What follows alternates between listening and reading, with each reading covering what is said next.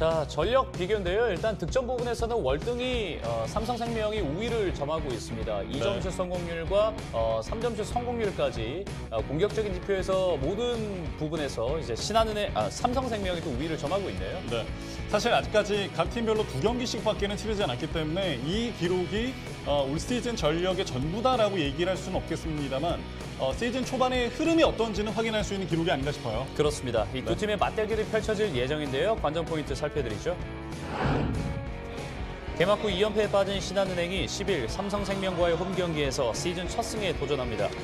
우리은행과 KB스타즈에게 잇따라 패한 신한은행의 최근 분위기는 좋지 않은데요. 공격과 수비 어느 것 하나 마음대로 되지 않습니다.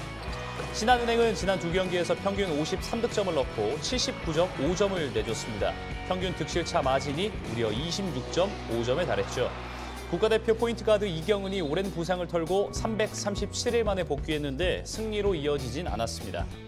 특히 팀 전력에서 큰 비중을 차지하는 외국인 선수의 부진이 발목을 잡고 있습니다. 쉐키나 스트릭렌은 KB전에서 3득점 3리바운드로 공수에서 존재감이 미미했는데요. 김단비와 곽주영 등 국내 선수들의 더 적극적인 득점 참여가 필요해 보입니다. 반면 2연승을 노리는 삼성생명은 윤예빈의 활약과 어, 윤예빈의 활약에 웃고 있습니다. 2015년 신인 드래프트 1순위로 삼성생명에 뽑힌 윤예빈은 그동안 부상으로 빛을 보지 못했습니다. 올해 데뷔 이후 처음으로 건강한 시즌을 보내고 있는 윤예빈. 직전 경기인 OK저축은행전에서 18득점 4리바운드로 데뷔 후 최고의 활약을 만들어냈습니다. 개막 후 2연패 빠진 신한은행은 어느 때보다 승리에 목이 마른데요. 삼성생명 전까지 패한다면 연패는 더욱 길어질 수 있습니다. 신한은행이 지난 두 경기 대패를 잊고 올 시즌 첫 승을 따낼 수 있을지 주목되고 있습니다.